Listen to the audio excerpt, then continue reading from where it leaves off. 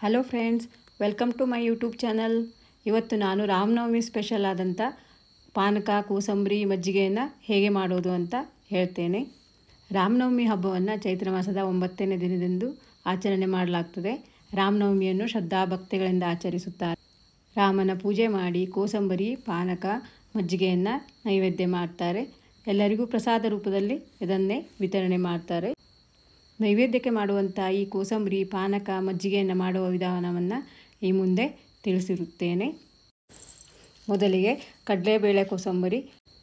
ಎರಡು ಗಂಟೆಗಳ ಕಾಲ ನೆನೆಸಿರುವಂಥ ಕಡಲೆಬೇಳೆ, ತುರಿದ ಮಾವಿನಕಾಯಿ, ತುರಿದ ಶುಂಠಿ,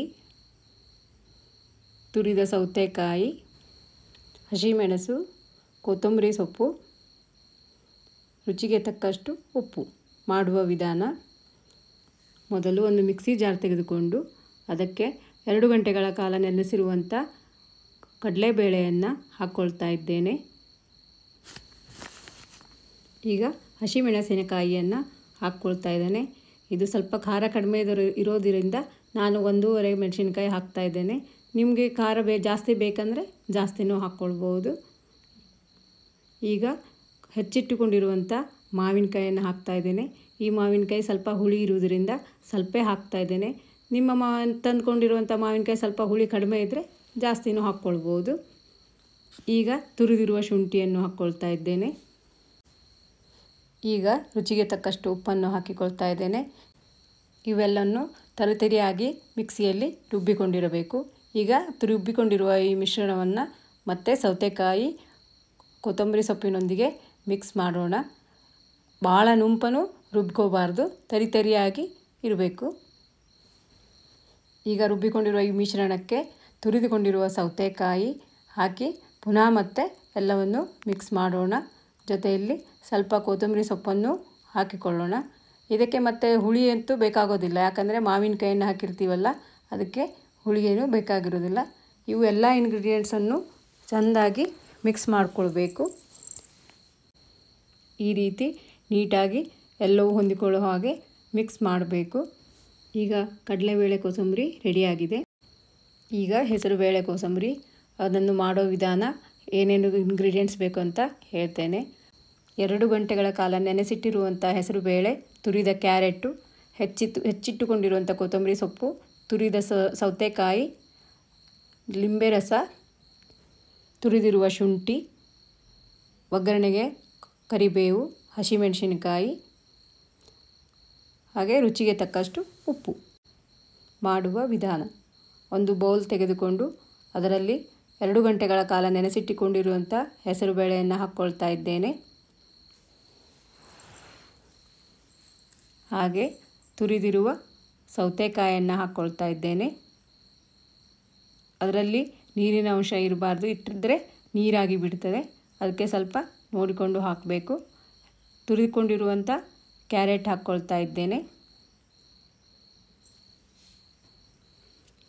ಹೆಚ್ಚಿಟ್ಟುಕೊಂಡಿರುವಂಥ ಕೊತ್ತಂಬರಿ ಸೊಪ್ಪನ್ನು ಹಾಕ್ತಾ ಇದ್ದೇನೆ. ನಾನಿಲ್ಲಿ ಸ್ವಲ್ಪನೇ ಹಾಕಿದ್ದೇನೆ. ನೀವು ಬೇಕಾದರೆ ಇನ್ನೂ ಸ್ವಲ್ಪ ಹಾಕಿಕೊಳ್ಳಬಹುದು. ಈಗ ತುರಿದಿರುವ ಶುಂಠಿಯನ್ನು ಹಾಕ್ತಾ ಇದ್ದೇನೆ. ರುಚಿಗೆ ತಕ್ಕಷ್ಟು ನಿಂಬೆ ರಸವನ್ನು ಸೇರಿಸ್ಕೋಬೇಕು. ಭಾಳ ಏನೂ ಬೇಕಾಗಲ್ಲ, ಅರ್ಧ ಚಮಚ ಆದರೆ ಸಾಕು. ಈಗ ರುಚಿಗೆ ತಕ್ಕಷ್ಟು ಉಪ್ಪನ್ನು ಹಾಕಿಕೊಳ್ಬೇಕು. ಎಲ್ಲವೂ ಚೆನ್ನಾಗಿ ಹೊಂದಿಕೊಳ್ಳೋ ಹಾಗೆ ಮಿಶ್ರಣ ಮಾಡಿಕೊಳ್ಬೇಕು. ಈಗ ಎಲ್ಲವೂ ನೀಟಾಗಿ ಮಿಕ್ಸ್ ಆಗಿದೆ. ಇದಕ್ಕೆ ಒಗ್ಗರಣೆಯನ್ನು ಮಾಡೋಣ? ಒಗ್ಗರಣೆಗೆ ಕೊಬ್ಬರಿ ಎಣ್ಣೆಯನ್ನು ಬಳಸ್ತಾ ಇದ್ದೇನೆ. ಎಣ್ಣೆ ಬಿಸಿಯಾದ ಮೇಲೆ ಇದಕ್ಕೆ ಸಾಸಿವೆಯನ್ನು ಹಾಕಿಕೊಳ್ತಾ ಇದ್ದೇನೆ. ಅದು ಚಟಪಟ ಅಂದ ಕೂಡಲೇ ಅದಕ್ಕೆ ಹೆಚ್ಚಿಟ್ಟುಕೊಂಡಿರುವಂಥ ಹಸಿಮೆಣಸಿನಕಾಯನ್ನು ಹಾಕ್ಕೊಳ್ತಾ ಇದ್ದೇನೆ. ಕಟ್ ಮಾಡಿರುವ ಕರಿಬೇವನ್ನು ಹಾಕ್ತಾ ಇದ್ದೇನೆ. ಚಿಟಿಕೆ ಹಿಂಗನ್ನು ಹಾಕ್ತಾ ಇದ್ದೇನೆ. ಈ ಒಗ್ಗರಣೆಯನ್ನು ರೆಡಿ ಮಾಡಿಟ್ಟುಕೊಂಡಿರುವಂಥ ಹೆಸರುಬೇಳೆ ಮಿಕ್ಸ್ಗೆ ಹಾಕ್ಕೊಳ್ತಾ ಇದ್ದೇನೆ. ಅದನ್ನು ಪುನಃ ಮತ್ತೆ ನೀಟಾಗಿ ಒಗ್ಗರಣೆ ಎಲ್ಲ ಕಡೆ ಸೇರೋ ಹಾಗೆ ಮಿಕ್ಸ್ ಮಾಡಿಕೊಳ್ಳಬೇಕು. ಈಗ ಹೆಸರುಬೇಳೆ ಕೋಸಂಬರಿ ರೆಡಿಯಾಗಿದೆ. ಮುಂದೆ ಕರ್ಬೂಜ ಪಾನಕವನ್ನು ಮಾಡೋಣ. ಬೇಕಾಗುವ ಸಾಮಗ್ರಿಗಳು ಹೆಚ್ಚಿಟ್ಟುಕೊಂಡಿರುವಂಥ ಕರ್ಬೂಜ, ಜೋನಿ ಬೆಲ್ಲ ಏಲಕ್ಕಿ, ಉಪ್ಪು ಮಾಡುವ ವಿಧಾನ. ಒಂದು ಮಿಕ್ಸಿ ಜಾರ್ಗೆ ಹೆಚ್ಚಿಟ್ಟುಕೊಂಡಿರುವಂಥ ಕರ್ಬೂಜ ಹಣ್ಣಿನ ಹೋಳುಗಳನ್ನು ಹಾಕ್ಕೊಳ್ತಾ ಇದ್ದೇನೆ. ನಾನಿಲ್ಲಿ ಜೋನಿ ಬೆಲ್ಲವನ್ನು ಬಳಸ್ತಾ ಇದ್ದೇನೆ. ನೀವು ನಿಮ್ಮ ಮನೆಯಲ್ಲಿ ಯಾವ ಬೆಲ್ಲ ಇದೆಯೋ ಅದನ್ನು ಬಳಸ್ಕೊಳ್ಬೋದು. ಒಂದು ಚಮಚ ಬೆಲ್ಲ ಹಾಕ್ತಾ ಇದ್ದೇನೆ. ಹಣ್ಣಿನಲ್ಲಿಯೂ ಸ್ವೀಟ್ ಇರೋದ್ರಿಂದ ಸ್ವಲ್ಪನೇ ಸಾಕು ಅಂತ ಹಾಕ್ತಾ ಇದ್ದೇನೆ. ಇದಕ್ಕೆ ಸ್ವಲ್ಪ ರುಚಿಗೆ ಅಂಥೇಳಿ ಉಪ್ಪು ಹಾಕ್ತಾ ಇದ್ದೇನೆ. ಒಂದು ಚಿಟಿಕೆ ಹಾಕಿದರೆ ಸಾಕು. ಒಂದು ಏಲಕ್ಕಿಯನ್ನು ಹಾಕ್ಕೊಳ್ತಾ ಇದ್ದೇನೆ. ಅದನ್ನು ಮಿಕ್ಸರಲ್ಲಿ ಚೆಂದಾಗಿ ಈ ರೀತಿ ಪೇಸ್ಟ್ ಮಾಡ್ಕೊಳ್ಬೇಕು. ಅದನ್ನು ಒಂದು ಬೌಲ್ಗೆ ಹಾಕ್ಕೊಳ್ತಾ ಇದ್ದೇನೆ. ಅದಕ್ಕೆ ಸ್ವಲ್ಪ ಒಂದು ಅರ್ಧ ಗ್ಲಾಸ್ ಆಗುವಷ್ಟು ನೀರನ್ನು ಸೇರಿಸ್ತಾ ಇದ್ದೇನೆ. ಎರಡೂ ಮಿಶ್ರಣವನ್ನು ಚೆಂದಾಗಿ ಮಿಕ್ಸ್ ಮಾಡಬೇಕು.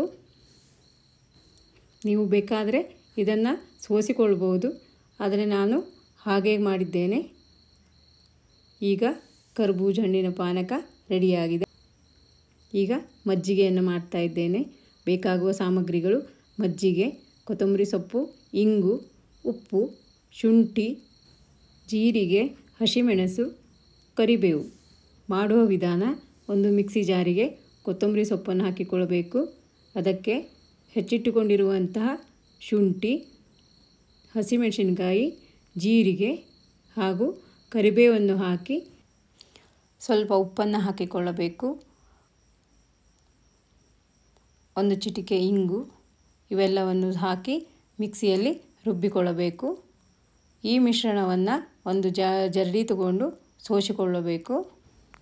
ಪುನಃ ಮಿಕ್ಸಿ ಜಾರಿಗೆ ಸ್ವಲ್ಪ ನೀರನ್ನು ಹಾಕ್ಕೊಂಡು ಅದನ್ನು ಹಾಕಿ ಸೋಸಿಕೊಳ್ಬೇಕು.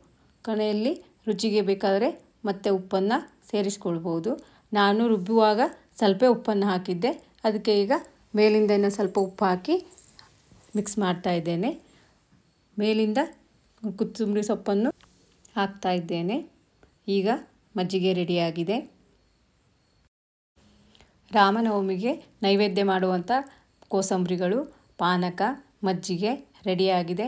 ನೀವು ಸಹ ನಿಮ್ಮ ಮನೆಯಲ್ಲಿ ಇವುಗಳನ್ನೆಲ್ಲ ಮಾಡಿ ರಾಮನಿಗೆ ನೈವೇದ್ಯ ಮಾಡಿ ಬಂದವರಿಗೆಲ್ಲ ಪಾನಕ, ಮಜ್ಜಿಗೆ, ಕೋಸಂಬರಿಗಳನ್ನು ಪ್ರಸಾದ ರೂಪದಲ್ಲಿ ವಿತರಿಸಿ ಈ ವಿಡಿಯೋ ನಿಮಗೆ ಇಷ್ಟವಾಗಿದ್ದಲ್ಲಿ ಲೈಕ್ ಮಾಡಿ, ಶೇರ್ ಮಾಡಿ, ಸಬ್ಸ್ಕ್ರೈಬ್ ಮಾಡುವುದನ್ನು ಮರಿಬೇಡಿ. ಶುಭವಾಗಲಿ.